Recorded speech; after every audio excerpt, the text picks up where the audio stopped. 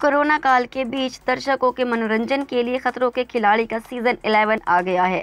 Show में हिस्सा ले रहे सभी कंटेस्टेंट लगातार पोस्ट शेयर कर अपनी एक्साइटमेंट दिखा रहे हैं।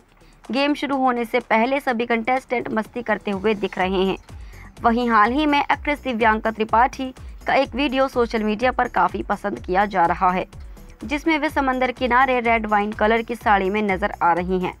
दिव्यांका के इस वीडियो को फैंस काफ़ी पसंद कर रहे हैं।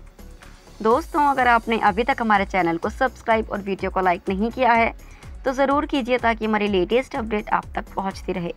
दरअसल, कैपटाउन में मस्ती करते समय सिंगर आस्था गिल ने एक्ट्रेस का एक वीडियो अपने इंस्टाग्राम स्टोरी पर शेयर किया था। इस वीडियो में सबकी फेवरेट ईशा माँ, यानी कि Divyanka Tripathi, red wine colour की साड़ी पहने समंदर की लहरों का मज़ा लेते हुए दिखी थी। वहीं आस्था उनके इस लुक को देख शाहरुख खान का मोस्ट पॉपुलर गाना सूरज हुआ मध्यम गाना शुरू कर देती हैं, जिसके बाद से एक्ट्रेस का अंदाज और एक्सप्रेशन देखने लायक होते हैं। दिव्यांका इस गाने पर झूमती नज़र आती हैं। फैंस के साथ ही सेलेब्स भी इस वीडियो को काफ़ी पसंद कर रहे हैं। फैंस के इस वीडियो पर जमकर रिएक्शन भी आ रहे हैं।